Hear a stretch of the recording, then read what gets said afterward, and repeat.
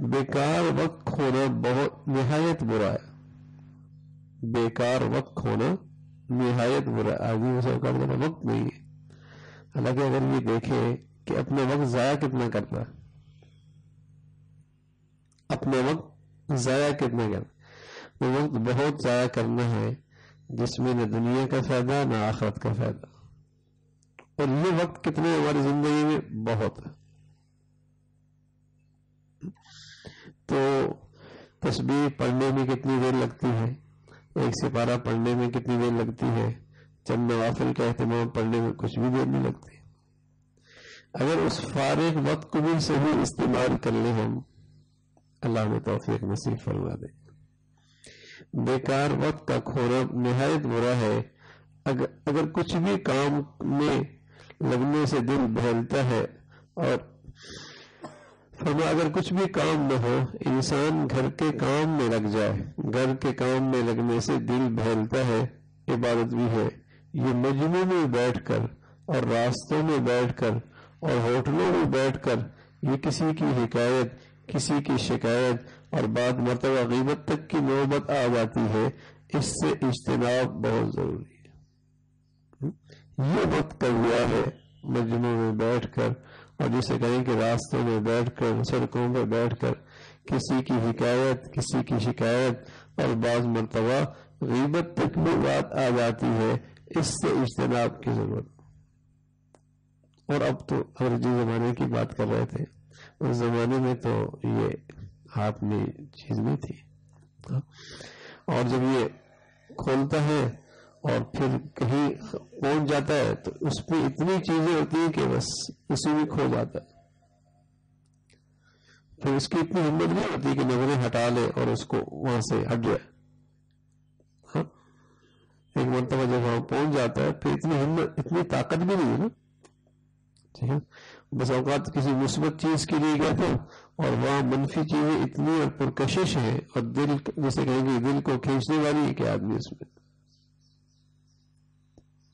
بس اوقات کئی کئی گھنٹے اس میں لگ جاتے ہیں۔ اور پھر جو اس کے منفی اثرات دماغ پہ رہتے ہیں، کئی دن تک اس کے اثرات الگ ہیں۔ اس کے جو منفی اثرات دماغ پہ رہتے ہیں ہاں اس کے نتائج الگ ہے مفت کا زیادہ اور پھر ان فضولیات کا جو دماغ پہ اثر رہتا ہے، وہ بڑا خطرناک بہت خطرناک۔ اللہ ہم سب کی حفاظت فرمائے۔ یہ اعلیٰ موبائل یہ چیزیں صرف ضرورت کے لیے استعمال کرنی چاہیے۔ تو گند ہے۔ گند ہے۔ اپنے آپ کو بچا لینا۔ آنکھوں کی حفاظت، دل کی حفاظت، کانوں کی حفاظت۔ یہ فرض ہے، فرض۔ نفل نہیں ہے کہ ثواب ملے گا۔ نا فرض ہے۔ اور اس چیز میں اچھا یہ ایک ایسی چیز ہے کہ اللہ کا ڈر تو خوش نصیبوں کو نصیب ہوتا ہے۔ مخلوق کا ڈر تو وہاں ہی نہیں کوئی دیکھے گا ورنہ آدمی سڑک پہ جاتا ہے تو بائیں بائیں کا بھی خیال ہوتا ہے، اور سامنے سے ریئیکشن کا بھی خطرہ ہوتا ہے۔ ٹھیک یہ تو ایسی بلا ہے کہ سوائے اللہ کے ڈر کے اور کوئی چیز اسے نہیں روک سکتا۔ کیا دیکھا اس نے؟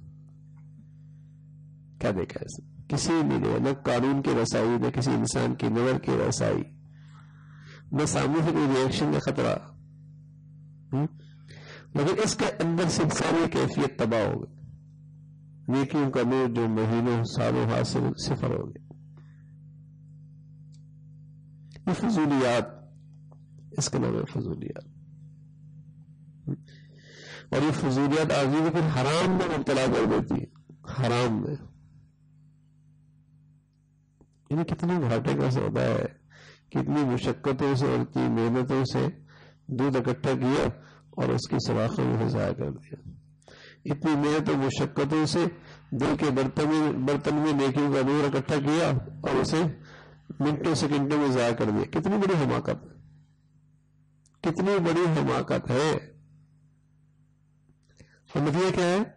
اس کا وقت بہت اس کا وقت بہت اور فضول کیا مرد کیا عورت، بلکہ اب تو کیا جوان کیا بوڑھیا ہو بک جو ہے، ان کے پاس وقت ہے۔ اگر ان چیزوں کو مثبت چیزوں میں استعمال کریں، قرآن کی تلاوت، قرآن کی یاد کرنے، حدیث سے تعلق، دین سیکھنا، مثبت کتابوں کا پڑھنا، اور کچھ نہیں تو گھر کا کام کاج میں لگ جائے اس کے لیے تو دو ماسی ہیں، تین ماسی ہیں، چار ماسی ہیں، یہ فارغ ہے یہ فارغ ہے۔ اب پڑھنے پڑھانے کا ذوق شوق ہے نہیں۔ آخر وہی بات وہی موبائل۔ مسئلہ جو ہے نا فارغ جو ہے۔ تو زندگیاں برباد ہو رہی۔ زندگیاں برباد۔ یہ ایسا شیطانی عمل بن چکا ہے اور شیطانی آلہ بن چکا ہے۔ کہ بہت ہی با ہمت با حوصلہ ہو کہ اس کو استعمال بھی کرے اور پھر اس میں محتاط بھی ہو۔ ہاں، محتاط بھی ہو اور قابو میں رہے۔